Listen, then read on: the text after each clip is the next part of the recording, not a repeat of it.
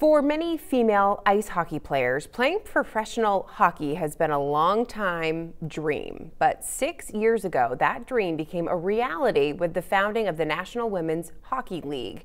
Now, seven former UMaine Black Bears took the ice Saturday, and News Center Maine's Sam Rogers catches up with the two rookies making their professional debuts.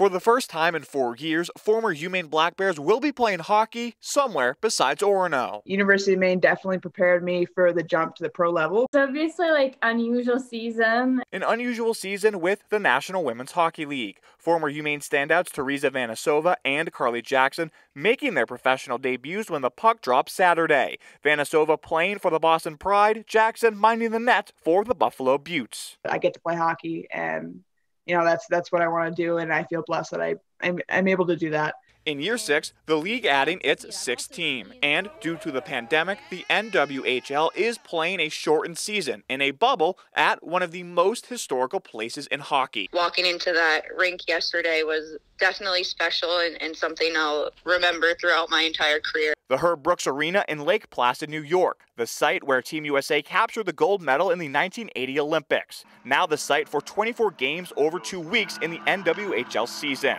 with the semifinals and finals broadcasted on NBC Sports. You hope that's just the tipping point and, you know, that this gets picked up and people are able to tune in across the country. Maine's all-time leader in points and all-time leader in every goaltending statistic square off for the first time Sunday. So we had to ask what would happen if there was a black bear on black bear breakaway. What did she say?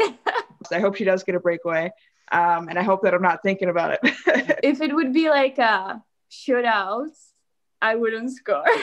As the NWHL season gets underway Saturday, it's a race to the finish. The Isobel Cup semifinals and final will be played on the first weekend of February. Sam Rogers, News Center, Maine.